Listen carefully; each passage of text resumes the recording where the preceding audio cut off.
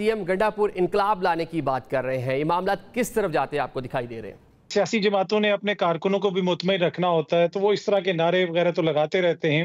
Obviously ان کو پتا ہے کہ ان کے اوپر بھی تنقید ہوتی رہی کہ جی کہ جو ان کی کارکن کی ایکسپیکٹیشنز ہیں، شاید وہ پوری اس طرح نہیں ہو رہی جس طرح ان کا کارکن چاہتا ہے، تو انہوں نے ان کو بھی انگیج رکھنا ہے۔ لیکن جہاں تک احتجاج کا تعلق ہے، میرے خیال میں جب تک ملک کے اندر آئین ہے، قانون ہے، جمہوریت ہے، تو انقلاب کی تو کوئی گنجائش نہیں ہے۔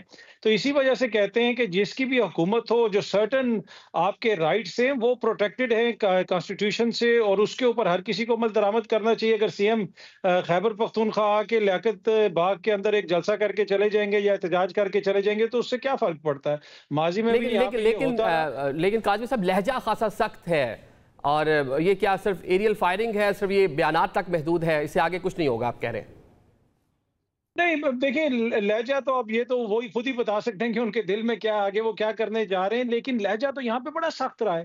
لہجہ تو میں وہی عرض کر رہا ہوں کہ جو سیاستدانوں کی ریٹرک ہوتی ہے اگر آپ جو ابھی ہمارے موجودہ وزیر دفاع ہیں ان کی اگر آپ پارلیمنٹ کے اندر جو ان کی سپیچز ہیں وہ آپ کا چینل اس وقت چلا نہیں سکتا اپنے پروگرام میں یا میرا چینل بھی نہیں چلا سکتا یا کوئی بھی چینل نہیں چلا سکتا۔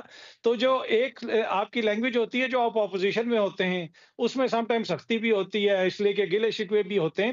لیکن یہ یہ زیادہ امپورٹنٹ نہیں ہے۔ یہ چیزیں کانسٹنٹ فیکٹر نہیں ہے کہ آج کون حکومت میں ہے یا کون جو ہے اپوزیشن میں وہ کیا کہہ رہے ہیں؟ کانسٹنٹ فیکٹر یہ ہے کہ کیا ملک کے اندر جو آئین اور قانون ہے، اس کے مطابق چیزیں چل رہی ہیں، جو لوگوں کے فنڈامنٹل رائٹس ہیں، ان کو پروٹیکٹ کیا جا رہا ہے، کیا جمہوریت کو پروٹیکٹ کیا جا رہا ہے؟ وہ ایک بڑا کوشچن ہے کہ اگر ایک جماعت احتجاج کرنا چاہتی ہے تو پورے ملک میں آپ کنٹینر لگا دیں۔